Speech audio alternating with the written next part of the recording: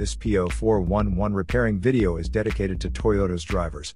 If your Toyota is getting a P0411 error code, this video is going to show you two practical solutions to fix the error code at home.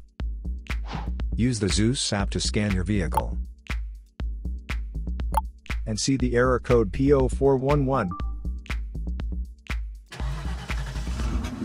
It indicates that the engine control module detected the engine oxygen sensor did not detect an increase in the oxygen level in the exhaust when the air injection system was commanded on during an active test. Here are two of the most practical solutions to fix Toyota's P0411 error code. Method A, the air injection pump.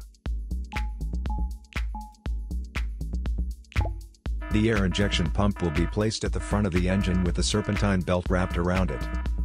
First, carefully remove the air injection pump from your engine. Visually inspect the air injection pump's pump pipe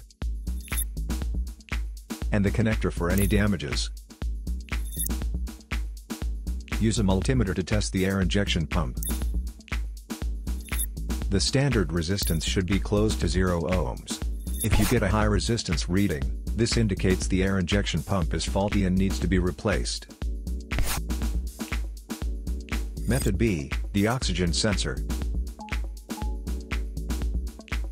Oxygen sensors are mounted directly onto the exhaust pipe near the catalytic converter. Locate the sensor that responds too slow as it ages.